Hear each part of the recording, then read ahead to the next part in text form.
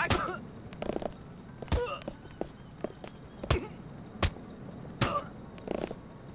Excuse, please! Arrogance! You are so arrogant! You had enough? Please! Now stay down, or I will finish you off.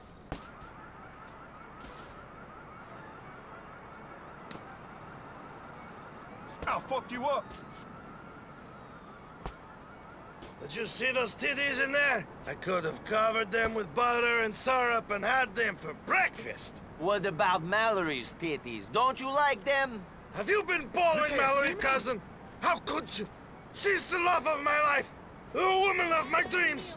My own cousin is... You make me sick, Fuck cousin. you looking at? Sick to the bone. You're drunk, Roman.